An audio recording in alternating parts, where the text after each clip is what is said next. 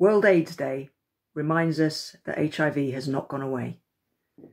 There is better understanding today about the condition, but there is still stigma and there is still discrimination.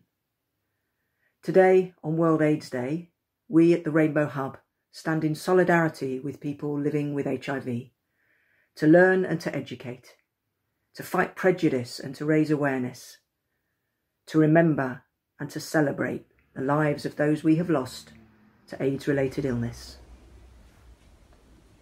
World AIDS Day is an opportunity for us to show our support for people living with HIV and to commemorate those who have died through AIDS related illnesses.